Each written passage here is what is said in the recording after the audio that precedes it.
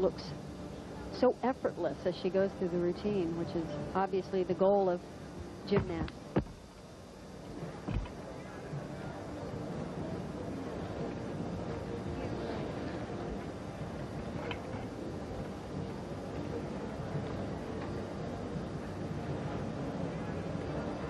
She had trouble with this pass in the warm-ups. See if she can do it. Three layout step outs. Perfectly done.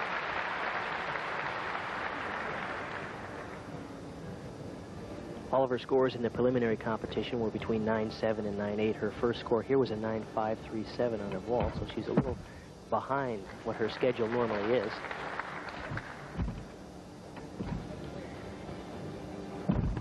Keep in mind how devastating just a balance break can be on the balance beam. Of course, you get the deduction for that, but if it's on a skill that you need for your bonus points, if the deduction is too great, you don't get credit.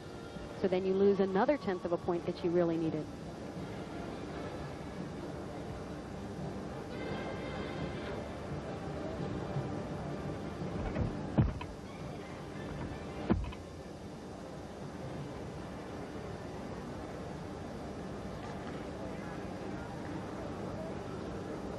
Not enough just to stay on the balance beam anymore. They really need to be perfect.